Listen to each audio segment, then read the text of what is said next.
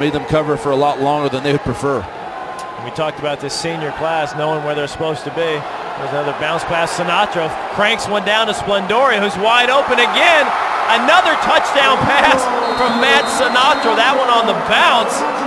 They used it before, short yardage, now go deep. And Sblendorio's got his second long touchdown of this game.